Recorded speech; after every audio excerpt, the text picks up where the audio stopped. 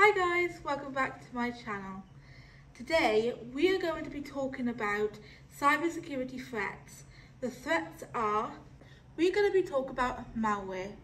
Malware is a file or code typically delivered over a network that infects, exploits, conducts virtually any behaviour an attacker wants. Now we are going to be talking about denial of services, DOS.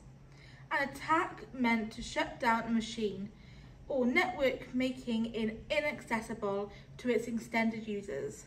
The next one, the next threat we are going to be talking about is phishing. Phishing is when criminals use scams, emails, texts, messages, phone calls, tricks to their victims. It's giving away personal information or money, meeting up with other people that they don't know who they're talking to.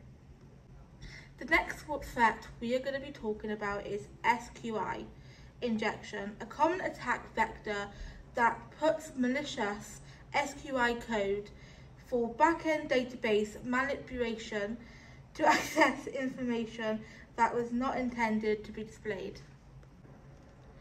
The next threat we are going to be talking about is sources without authorized access, individual gaining access to an organization's data, networks, endpoints, applications or devices without permission.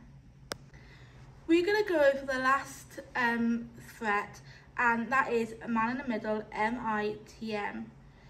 An attack where the hacker positions himself in between the users and the system so that he can intercept um, and alter data travelling between them. This is the end of my video. If you did enjoy this video, please give this video a big thumbs up. Don't forget to like, subscribe and comment for more videos just like this one. And I'll see you guys soon. Bye!